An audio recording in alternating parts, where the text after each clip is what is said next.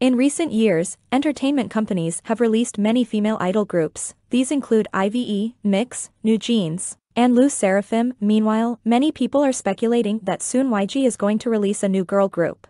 Actually, it is true, their new girl group name is Baby Monster and this group is also known as Baemin. Beside the group currently consists of two members, Jane Wang and Vicky Weiss. YG had revealed about this group in December 2019, after that they are busy preparing for the debut, but it is going to be about three years but this group has not debuted yet. There was news that Baby Monster would debut in 2022, but now it looks like YG will release this group in 2023 as they are currently busy with the comeback of Blackpink.